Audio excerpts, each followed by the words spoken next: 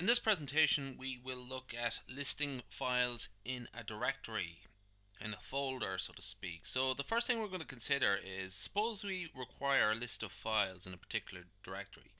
Now for the sake of brevity in the first instance I'm going to use just the working folder just to save me typing it out. Anyway the command I'm going to use is called list.files. So it actually just works in this sort of basis here. You just name the folder and what it will do is will list the files in that folder. So get working directory, let's just have a look at the name of my directory. There we have it there. And essentially it's just to save me typing that out that I'm going to just type in get working directory. There we have it there. Those are the six uh, files in my current working directory. I could have just as easily done this Remember to put in the quotation marks. Just copy and paste that all in. And there we go. So it's the same thing again.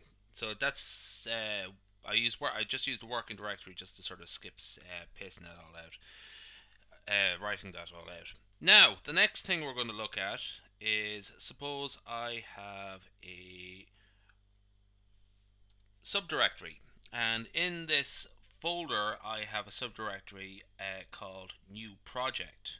Now, as long as this folder is in the working directory, we don't have to write out any additional path, um, any additional uh, names of the path. So we just have to type in the name of the uh, uh, subdirectory, the folder. So let's have a look at this now. So here it is here, new project. That's the name of my subdirectory. So list files uh, quotation marks new project. And those are the uh, files in that subdirectory of my working directory. Let's uh, finally look at uh, counting how many files we might have in a directory. Well, the thing about this is is that um, it's simply a character vector, a vector of character values. And so all we have to do is use the length command, the length function here. So there we have it there. There's three files and that's but suppose there was more.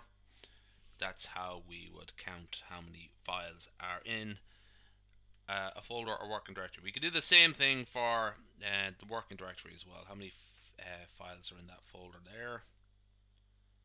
Get working directory. Six in my working directory.